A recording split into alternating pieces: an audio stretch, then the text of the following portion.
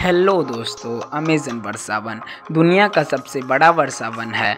अगर देखा जाए तो यह जंगल इतना बड़ा है कि अगर ये कोई देश होता तो दुनिया का नौवां सबसे बड़ा देश होता। कुछ भी कहा जाए पर यह बहुत अद्भुत है। दुर्लभ प्रकार के जीव जंतु और जड़ी बूटियों और पोषक तत्वों का भंडार है। इस जंगल में अनेक प्रकार के पंछी, वन मानुष, दो सौ से ज़्यादा पंछी की प्रजातियाँ, पच्चीस लाख कीड़ों की प्रजातियाँ पाई जाती हैं। सत्तर प्रतिशत औषधीय पौधे, पचास पचास प्रतिशत पेड़ों की जातियाँ पाई जाती हैं। ढाई सौ वन मानुष की जातियाँ अभी भी जंगल में ही रहती हैं। माना गया है कि अमेज़न का जंगल मानव के लिए खतरनाक है। वहीं यहाँ पर हमें अलग अलग प्रकार की चीज़ें देखने को मिलती हैं। Thanks for watching